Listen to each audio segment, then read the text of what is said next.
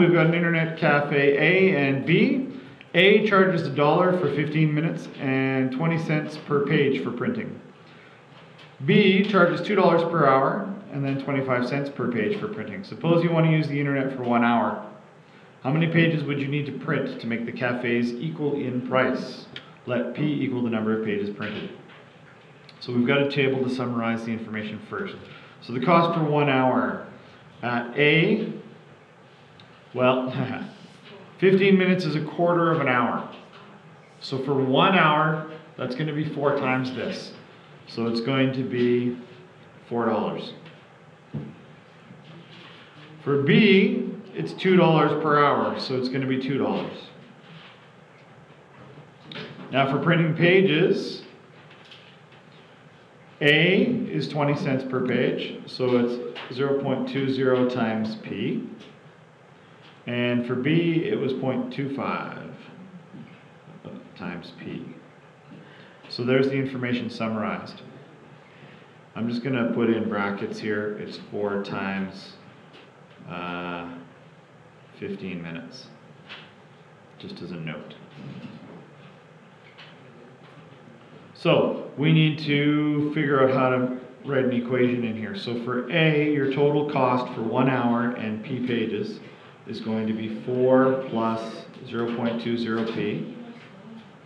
And you make those equal, and it's going to be 2 plus 0.25p. This is the equation we're working with. So, I'm going to subtract, I'm just going to deal with the integers first, the constants. I'm going to subtract 2 from both sides because that's one that I see very quickly is an easy one to deal with. 4 minus 2 is 2. These 2's cancel out, leaving me with 0.25p on the right. Now I need to group my p's together, so I'm going to subtract 0.20p from both sides. These subtract out, leaving me with just 2 on the left. And on the right, 0.25 minus 0.2, that's going to give me 0.05p. So now, in order to get p by itself, I need to divide both sides by 0.05. And when you do that, you end up with 40 is equal to p.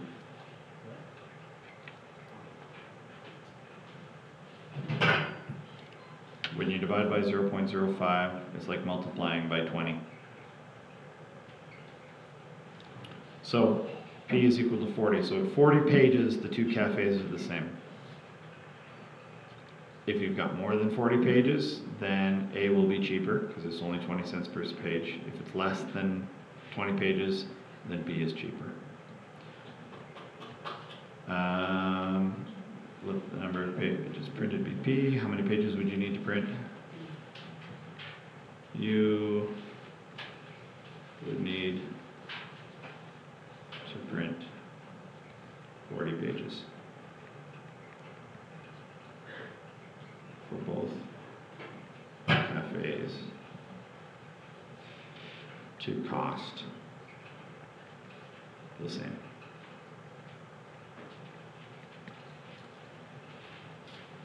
Now we should do a double check as well. So we've got 4 plus 0.20p, p we said was 40. That's one side. The other side is 2 plus 0.25p, which we said was 40.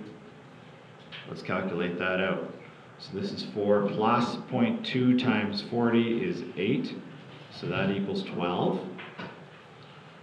This side is going to be 2 plus 10, which is also 12. Those two match, so we're good. Our calculations are right. So that's the show you know.